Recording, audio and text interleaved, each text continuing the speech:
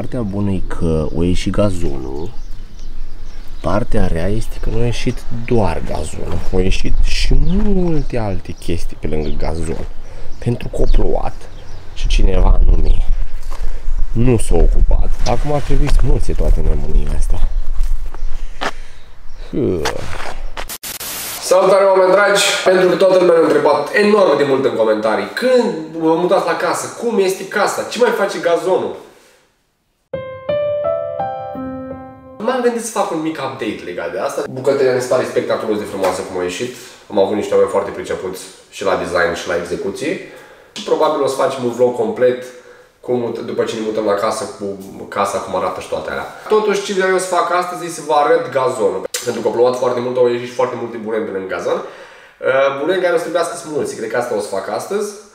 Uh, probabil ar trebui și tuns gazonul și toate alea, dar deocamdată nu mi-am cumpărat mașină de, de tuns. Și bineînțeles să mai pun, să mai pun ceva gazon unde nu, unde nu a ieșit. Așa că, hai să-i dăm bătaie.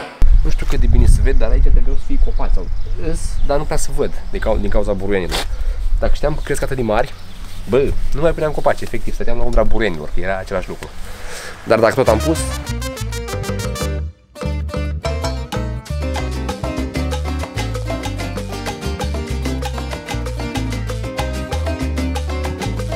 Normal aici trebuie băgat o motocoasă electrică, dar pentru că încă nu am cumpărat-o, o să trebuiască să tai cu această sculă uh, cât de mult pot și după aia o să bag motocoasa dacă nu o să fie cazul.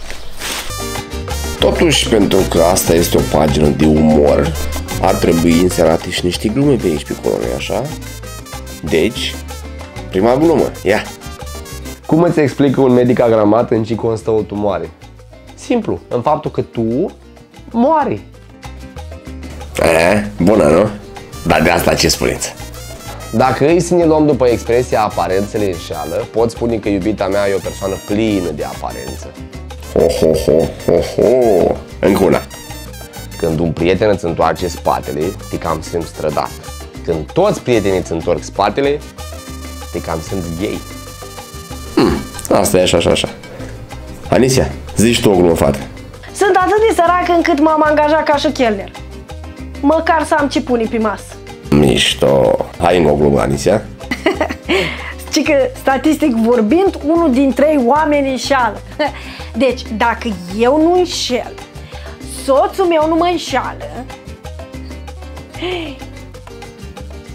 asta înseamnă că mă înșeală mantu? Și încă una de la mine. Cum îl consolau consilierii pe Baiazid atunci când pierdeau un teritoriu în război? Stai liniștit, nu e un capăt de țară. Nice, nice, nice. Another one. Prietena mea aspiră la foarte multe bogății.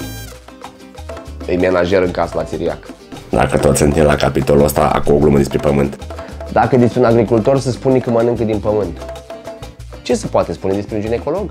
Așa, tati, hai, închei tu cu o glumă frumoasă. Cum se numește când faci dragoste cu o bucătăreasă? Tragerii la șorț.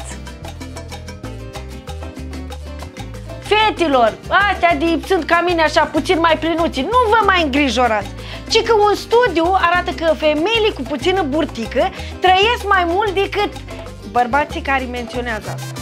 Uh, deci, uh, se fini. Cam asta a fost. Acum sper să și iasă ce am, uh, ce am mai pus pe acolo pe, sau pe acolo. Fetelor, când uh, vă mai lăudați cu unghiile voastre cu gel, ale mele sunt cu pământ, ah, ok? Aha, aha.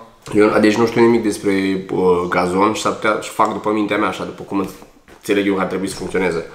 Ar trebui în momentul ăsta să tund tot, să mai uh, pun gazon pe în locurile în care nu, nu a ieșit și să, să ud iarăși să aștept să asta. Pentru mai multe sfaturi despre cum nu trebuie pus gazonul, urmăriți-o!